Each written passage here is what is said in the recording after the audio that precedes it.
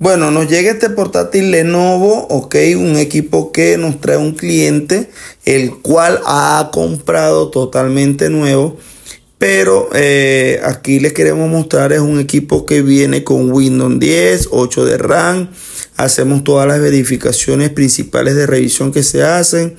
Eh, verificamos eh, la manera de poderlo actualizar y el Windows no deja eh, activar las licencias okay, de este sistema operativo. Buscamos todas las maneras utilizando los eh, programas que utilizamos acá en nuestra tienda y por ninguna manera eh, permite hacer la actualización del equipo o de su sistema operativo como tal y activar como tal las licencias de el sistema operativo que viene con este equipo nuevo.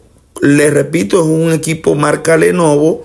Aquí ya van a ver la referencia, un equipo que es totalmente nuevo, ¿ok? No permite, utilizamos, como ya dije, los eh, dos programas que utilizamos acá para hacer este proceso y no permite, ¿ok? Eh, la sugerencia, pues en este caso, eh, sería formatear el equipo. Aquí van a ver que intentamos también instalar lo que es eh, los paquetes Office y tampoco permite hacer la instalación ni siquiera del programa. Por lo tanto, pues se sugiere formatear el equipo e instalar su sistema operativo nuevo, lógicamente con su licencia. Si te gustó esta información, suscríbete al canal para mucho más contenido de tecnología y mucho más. Bye bye.